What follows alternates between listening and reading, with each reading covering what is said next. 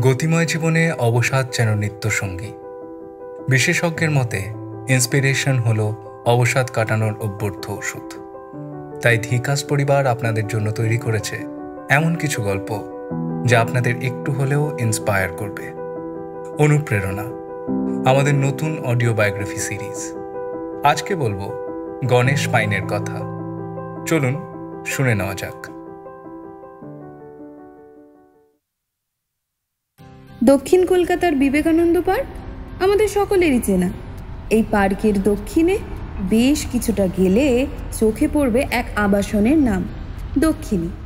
এই আবাসনের সিঁড়ি দিয়ে উপরে উঠেই মানে দক্ষিণীর দক্ষিণে গেলে একসময় গণেশ দর্শন পাওয়া যেত।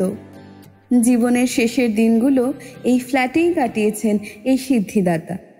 এখন নিশ্চয়ই ভাবছেন তো, ইনি কে?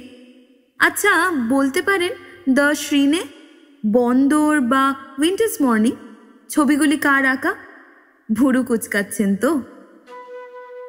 শিল্পী গণেশ পাইন আমার আপনার প্রিয় ম্যাগাজিন শারদীয়া দেশ? একটা দীর্ঘ সময় ধরে তার প্রচ্ছদ তিনিই আঁকতেন। সকলের প্রিয় গণেশ তার জন্ম উনিশশো সাঁত্রিশের এগারোই জুন। উত্তর কলকাতার এমজি রোডের কাছেই আজকে স্কুল অফ ট্রপিক্যাল মেডিসিন তার কাছেই রয়েছে কবিরাজ রোড। সেখানেই কেটেছে তার শৈশব। মাত্র ন বছর বয়সেই ছেচল্লিশের দাঙ্গার সময় তিনি পিতৃহারা হন। ফলে ছোটবেলাটা কেটেছে মূলত ঠাকুমা, কাকা ও পরিবারের অন্যান্য সদস্যদের মধ্যেই। প্রসঙ্গত বলে রাখি, ছোটবেলায় আমরা কম বেশি সকলেই ঠাকুমা দিদার কাছে প্রচুর পৌরাণিক কাহিনী শুনেছি। গণেশ পাইনের আঁকার প্রতি আগ্রহ সেখান থেকেই শুরু। ঠাকুমার কাছ থেকে শোনা পৌরাণিক চরিত্রগুলো নিমেষেই স্লেটে এঁকে ফেলতেন তিনি। উনিশশো একচল্লিশ সালে তিনি সিটি কলেজিয়েট স্কুলে ভর্তি হন। সেখান থেকেই তার ম্যাট্রিক পাস। যদিও পড়াশোনায় কোনোদিনই সেরকম আগ্রহ ছিল না। আঁকা ঝোঁকার দিকেই তার মন ছিল। আর পাঁচটা বাড়ির মতোই তার বাড়িতেও রাজি হননি যে তিনি আর্টিস্ট হন। কিন্তু ব্যতিক্রমী ছিলেন তার ছোট কাকা, মনোহর পায়েন। শিল্পী গণেশ পায়েনের জীবনে তিনিই ছিলেন এমসি শের। উনিশশো উনষাট সালে গভর্নমেন্ট আর্ট কলেজে ভর্তি হন গণেশ পায়েন। রংতুলির দুনিয়ায় এক নতুনভাবে যাত্রা শুরু হয় তার। পথপ্রদর্শক ছিলেন মানিকলাল বন্দ্যোপাধ্যায়। কিন্তু তার আগে থেকেই চিত্রশিল্পের প্রতি তার এক বিশেষ আকর্ষণ ছিল। অনেকের মতে উনিশশো সালে ইন্ডিয়ান মিউজিয়ামে অবনীন্দ্রনাথ ঠাকুরের এক প্রদর্শনীতে গিয়ে বেশ অনুপ্রাণিত হন তিনি। পাশাপাশি অনুপ্রাণিত হন রেমব্রাও পোলক্লিপ দ্বারা। শুধু তাই নয়, তাকে অনুপ্রাণিত করেন খোদ আমাদের গুরুদেব মানে রবি ঠাকুর। তবে তিনি বেশ বুঝতে পেরেছিলেন, ঠাকুরের অঙ্কন শৈলী অনুসরণ করা অতটা সহজকম্য নয়। উনিশশো পঞ্চান্নতে তার জল রঙে আঁকা উইন্টার্স মর্নিং ছবিটিতে অবন ঠাকুরের স্পষ্ট ছাপ দেখা যায়। অনেকে বলেন গণেশ পাইনের সেটাই সর্বপ্রথম পেন্টিং তবে সর্বসমক্ষে আসেন উনিশশো সাতান্ন সালে। বয়স মাত্র কুড়ি বছর। একাডেমি অফ ফাইন আর্টসে সিপাহী বিদ্রোহের শতবর্ষ উপলক্ষে আয়োজিত প্রদর্শনীতে ঠাঁই পায় তার ছবি। তার ছবিতে যেমন প্রাচ্য পাশ্চাত্যের উভয় ঘরানার মিলন হয়েছে, তেমনি রয়েছে কঙ্কাল। দেখা যায় নৌকা আর এক ক্ষয়িষ্ণু জগৎ। মনে হয় কোনো পৌরাণিক কাহিনীর অবতারণা। একবার তিনি বলেছিলেন অন্ধকার হয়তো কাউকে নিরাপত্তাহীন করে দেয়, ভয়ে জাগায়। কিন্তু এইটারও সৌন্দর্য আছে। গভীর রহস্যময় এক অলৌকিক পরীর দেশে নিয়ে যায়। যাই হোক, উনিশশো উনষাট সালে গ্র্যাজুয়েট হওয়ার পর চাকরির খোঁজ শুরু করেন তিনি। কিন্তু সাধারণ আর্ট টিচারের চাকরিই বা কোথায়?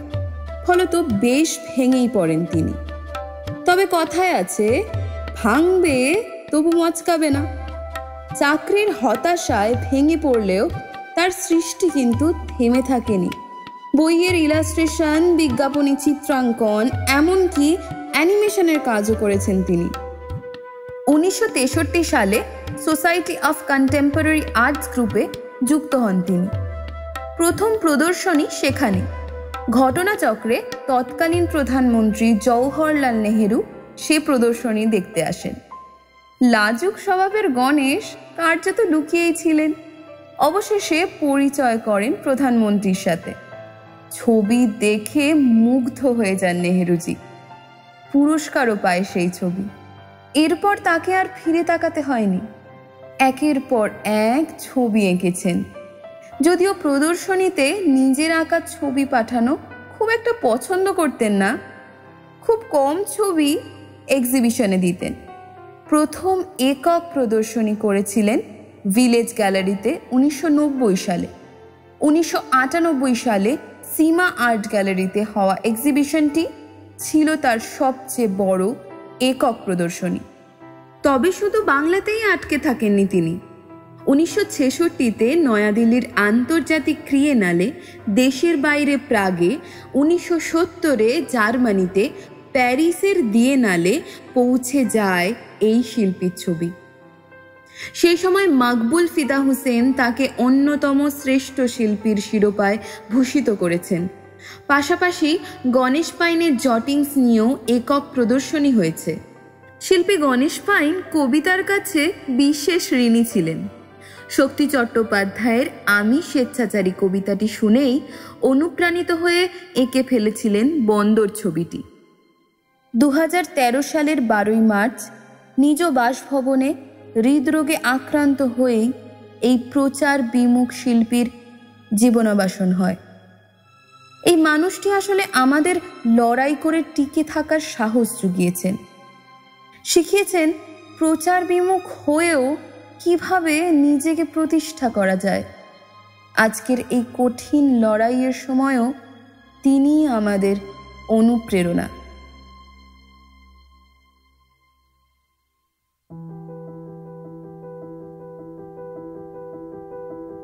শুনছিলেন অনুপ্রেরণা সিরিজের পঞ্চম গল্প।